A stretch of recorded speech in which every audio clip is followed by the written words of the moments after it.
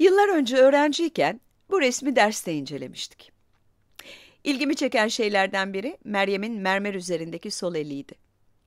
Parmak uçları resmin alanını ihlal ederek bize doğru, bizim alanımıza doğru geliyor.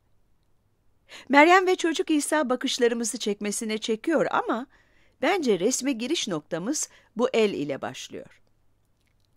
Bellini bizim dünyamız ve kutsal dünya arasındaki sınırlarla oynuyor. Son zamanlarda resme daha farklı bakmaya başladım. Kızım dünyaya geldikten sonra başka bir şeye odaklanmaya başladım. Meryem'in sağ eli çocuğu kendine yakın tutuyor. Çocuğu tutuş şekli bana çok tanıdık geliyor. Yani sanki çocuk İsa'nın bacakları yeterince kuvvetli olmadığından onun bedenini desteklercesine tutuyor. Onu tutuyor, kolluyor. Kafasını çenesinin altına dayamış.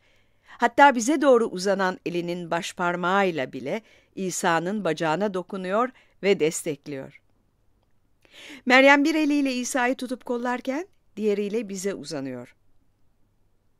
Aynı şey çocuk İsa için de geçerli. Bir elini kutsar gibi kaldırmış, diğeri ise annesinin parmaklarını tutuyor. Aynı bütün bebeklerin yaptığı gibi. Çok neşeli bir çocuk olarak resmedilmemiş. Durgun bir yüz ifadesi var ve resim alanından dışarı bakıyor.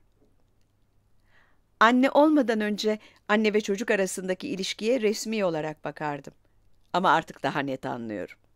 Ve Meryem ve İsa'nın düşüncelerinde bir araya geldiklerini ve ikisinin de İsa'nın kaderini hissettiklerini anlayabiliyorum. Genelde bir ebeveynin hisleri çocuğunu yansıtır.